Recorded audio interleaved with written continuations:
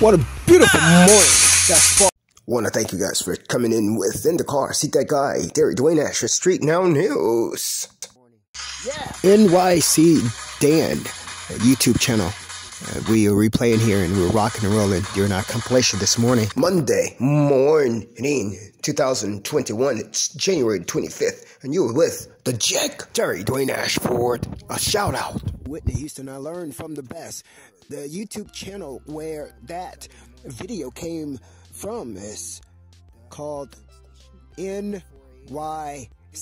Dan. NYC Dan. That's a YouTube video and it's blasting a piece that I adore. It's called uh, I Learned from the Best Whitney Houston, but it was a twist of a, a beat behind it. Well, look, it's Terry Dwayne Ashford. We're getting it back started for you again. It is uh, Monday morning. The day's been going smooth so far. We will be providing you with providing today. You with, uh, weather.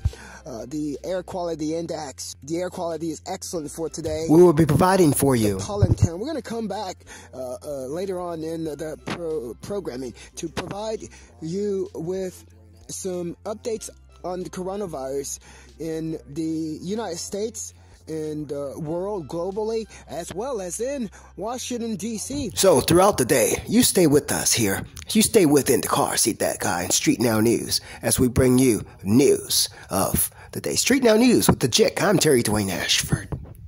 The following programming is a re-airing of Sunday, January the 24th programming. Buy in the car seat that guy, Street Now News.